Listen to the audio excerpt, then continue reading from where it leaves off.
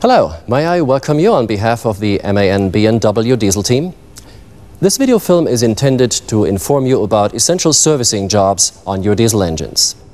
A correct performance of these jobs is of great significance for trouble-free operation of these technically perfected engines. This video film comprehensively describes the jobs using hydraulic tensioning tools. These are required to tighten and untighten the big bolted connections. We will inform you on all points of interest in six sections. You will learn why, when and where the jobs are to be done. We show you the tools required and explain their functions. Then we will first demonstrate the correct tightening operation. Important notes on safety are given in the fourth section, and untightening operations are subsequently shown in detail. Finally, instructions on tool care are given. This video film is thought as a supplementation of written pieces of information of the technical documentation, that is, the operation instructions and the working instructions. It is no substitute for this written information. We shall use this symbol as a reference to the relevant working cards. Please read them carefully prior to starting on the job. Safety first. Always remember this principle when doing maintenance work. This symbol is used to mark significant notes on how injury to persons or damage to components can be avoided.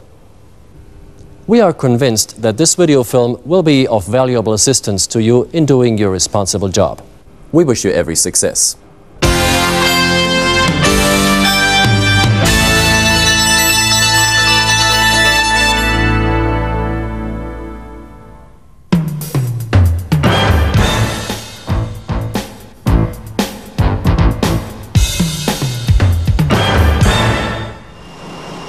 We have developed the MAN B&W four-stroke engines to very compact and powerful engines during the past years.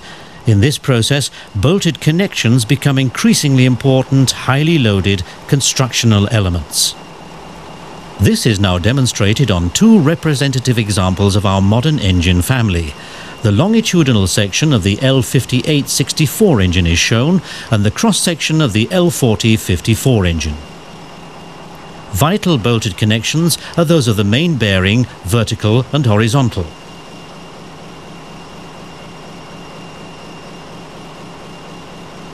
The cylinder head, the big end bearing, the camshaft bearing, the balance weight of the crankshaft, the engine to the foundation, as well as those of the torsional vibration damper and the coupling flange.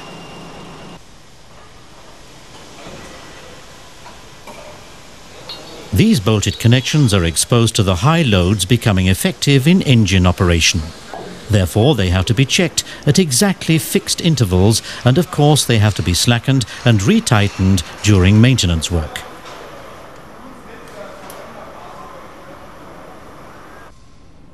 Vital bolts of smaller diameters are tightened using torque wrenches.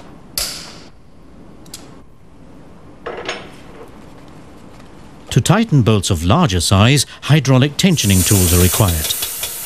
Hydraulic tensioning tools call for high pressures. Great care is necessary in their use, otherwise persons may suffer injury or machinery components may get damaged. This video film illustrates the correct execution of jobs. The technical documentation contains additional detailed descriptions of the tools required, of operational steps, and the technical details you have to observe.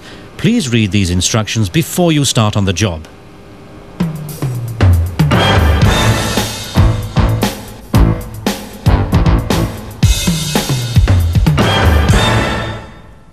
The tools required for working with hydraulic tensioning equipment are supplied by MAN B&W together with the engine.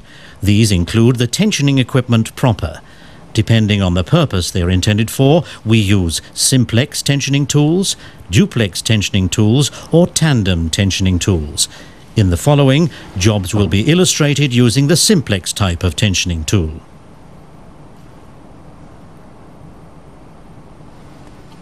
To use a tensioning tool, you'll need a thrust piece to transmit the pressure forces to the components. Some bolts require an adapter between the threaded socket and the tensioning tool. Also required is a high pressure pump operated on compressed air to generate the necessary oil pressure. High pressure hoses which safely transmit even high oil pressures from the pump to the tensioning tools. And an opener that is required where non-return valves on the hose or on the tensioning tool have to be opened.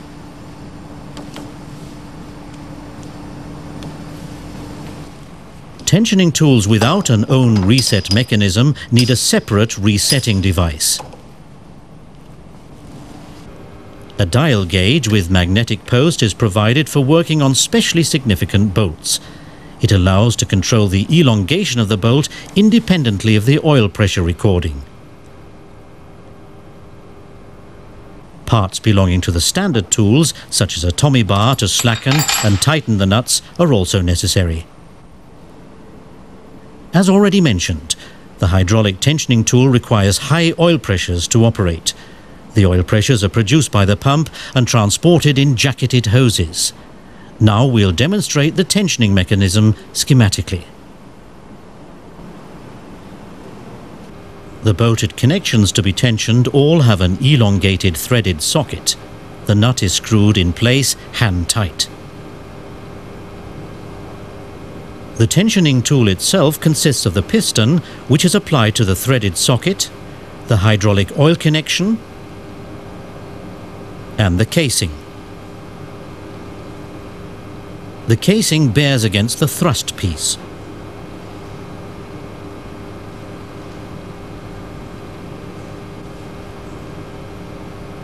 Thin-bodied oil is pumped into the casing of the tensioning tool under high pressure it forces the piston upwards. As the piston is screwed onto the threaded socket, the bolt is elongated. The piston lift depends on the oil pressure and the kind of bolted connection. It amounts to several millimeters on the main bearing bolts, but is restricted to several tenths of a millimeter as a rule. This elongation is adequate to further tighten the nut to the correct tension using the Tommy bar. When the oil pressure is reduced to zero, the bolted connection is finally tightened and the tensioning tool can be removed. So let's start. No, stop for a moment. You should never start on the job without having the work card with the oil pressures and tensioning values at hand. This table lists the related work cards too. The individual work cards are sealed in a protective foil to allow them to be taken from the technical documentation to the engine. So now we start the job.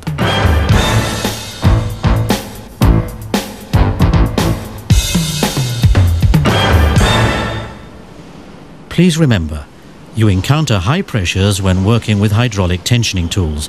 Therefore, it's of great importance that all the individual steps are carried out carefully. Make sure you wear safety goggles. Make sure that high pressure hoses and tensioning tools are not defective.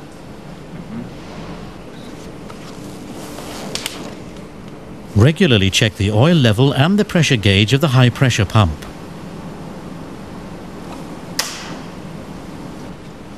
Keep your tools and the equipment required for the job available at the engine and consult the work cards once again.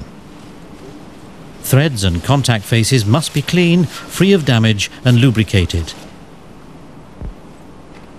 Tighten the nut by hand using the Tommy bar.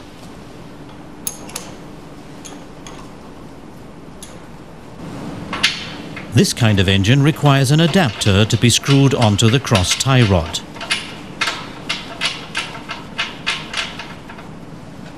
Then put the thrust piece in place. Make sure that the piston has been fully forced into the casing prior to screwing it in place. Should the piston not have been reset, it may get canted and could cause a sudden ejection of oil. Then screw the tensioning tool onto the threaded socket or the adapter. In the case of this bolted connection, a tensioning tool should be applied on both sides of the engine. Now you can connect the high pressure hose. It must be completely filled with oil and the unloading valve of the pump must be open. It's advisable first to connect the hose to the high pressure pump. pull back the union ring and introduce the coupling. The union ring then slides back over the coupling. The retaining ring is screwed subsequently in place. In this way, an inadvertent opening is prevented. The outlets on the pump which are not used have to be plugged by dummies. Is everything ready to operate? Check back in the table again what pressure is necessary and then switch on the pump. For this purpose, the switch on lever has to be in position 2, off.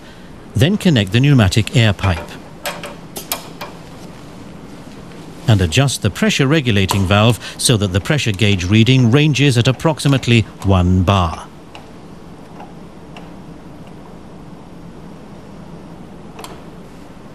Then move the switch on lever to position on and subsequently close the unloading valve.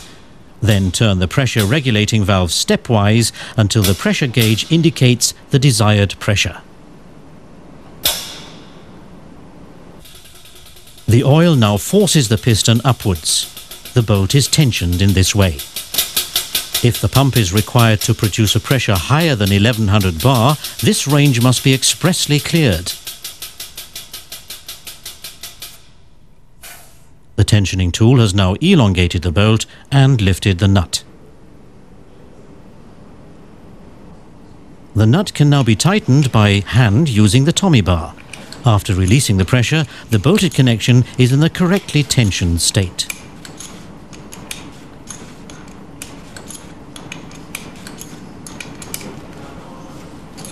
The pump is now switched off and the unloading valve is opened. The oil pressure on the pump immediately drops to zero. The pressure in the hose, however, drops more slowly. Whenever the tensioning tool has been used, make sure that the piston of the tensioning tool returns to its home position. On tandem tensioning tools and special simplex type tensioning tools, this is done automatically by spring force. It's essential that in this case you wait for at least two minutes after having released the pressure before you dismount these tensioning tools. Premature disconnection of the hose may cause the non-return valves to become blocked so that the hose cannot be connected again.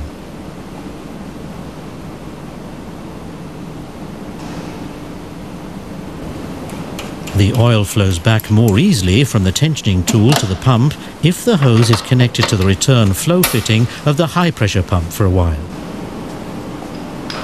On the standard type of simplex tensioning tools and on duplex tools, this resetting is to be done by tightening the tensioning nut or by hand with a resetting device. The best is to reset the tool as long as it is still mounted on the bolt and connected to the pump. The resetting device is placed on the piston. The legs enter the pocket holes on the casing. Then turn the thrust spindle until the piston is seated firmly against the base again.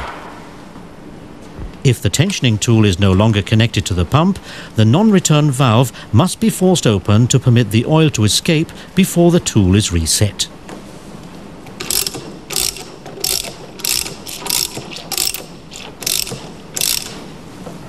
For removal, the high pressure hose should preferably first be disconnected from the high pressure pump and the outlet should be plugged with a dummy again. The hose must then be disconnected from the tensioning tool.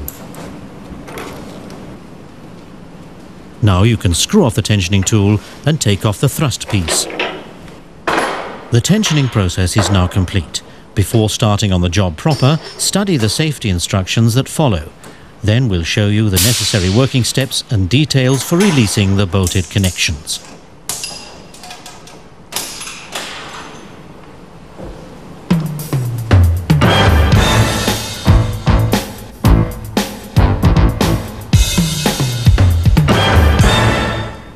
Never forget the safety goggles, indispensable for protecting your eyes against hydraulic oil that may eject under high pressure. And to be on the safe side, wear gloves. In case of tensioning tools with an auto reset device, do not remove the high pressure hose immediately, but wait for at least two minutes to let the pressure reduce. If you disconnect the hose too early, a jet of oil may eject and you run the risk of getting hurt. Before screwing off the tensioning tool, make sure that the piston has been completely forced into the casing. Otherwise, a jet of oil may eject on the next occasion, or the piston could become canted.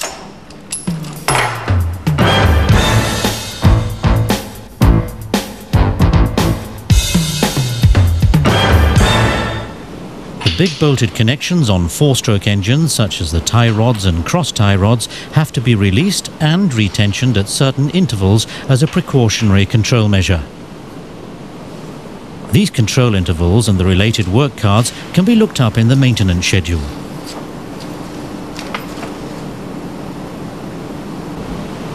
Of course, you must also undo bolted connections to work on this component or the neighbouring ones.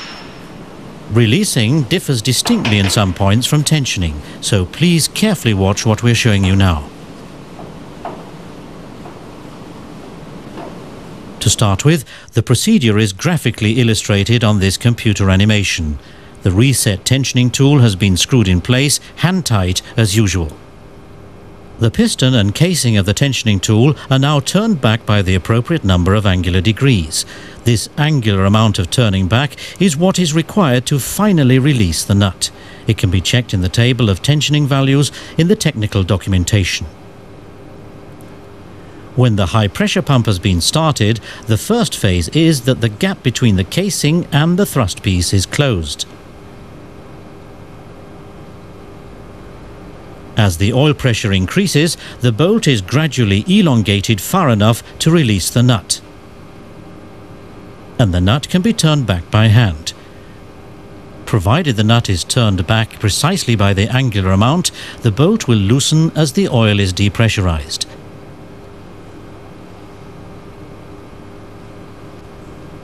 As soon as the tensioning tool has been detached, the nut can be removed. Let's sum up the preparations for the job.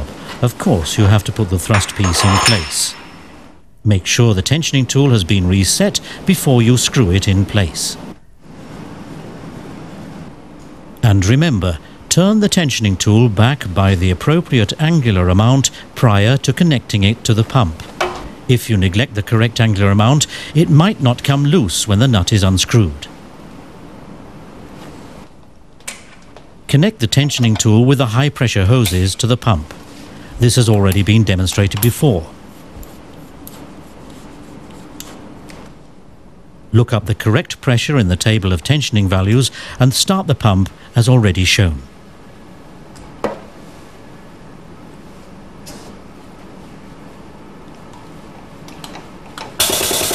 The oil pressure now pushes the casing downward. The gap relative to the thrust piece is closed. The oil pressure is now slowly to be increased to the prescribed tensioning pressure. Try in between at short intervals to see whether the nut already comes loose. As soon as this is possible, the releasing pressure must be noted down. This must be known when judging the tension of the screw. The nut will possibly stick longer than expected. In such a case, it's permitted to increase the pressure by a maximum of 5% above the value stated in the table. If the nut still cannot be loosened, proceed as specified in the work card. The same applies analogously in case the connection was not tight enough. If the nut is loose, turn it back exactly by the corresponding angular amount. In doing so, strictly adhere to the data given in the tensioning value table. As desired, the bolt becomes loose as soon as the oil pressure is reduced. Note, in case of auto-reset tensioning tools, make sure to wait long enough for the pressure to reduce before you remove the high-pressure hoses. There we are. The bolted connection is now loose. Well, I think this video film appropriately illustrates the maintenance jobs to be done. And please remember, the work cards included in the technical documentation contain more technical details. You should take recourse to this source of information whenever you have to do maintenance work. Should you encounter difficulties, please don't hesitate to contact our diesel team in Augsburg or Hamburg or one of our service bases all over the world. We wish you every success with your work and trouble-free operation of our MAN B&W diesel engines at all times. Let me say goodbye to you now. A few tips on the maintenance of tools are following.